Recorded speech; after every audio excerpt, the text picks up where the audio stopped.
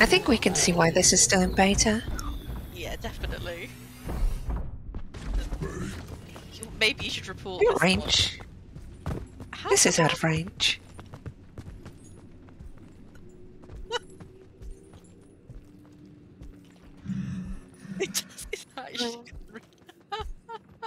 Oh.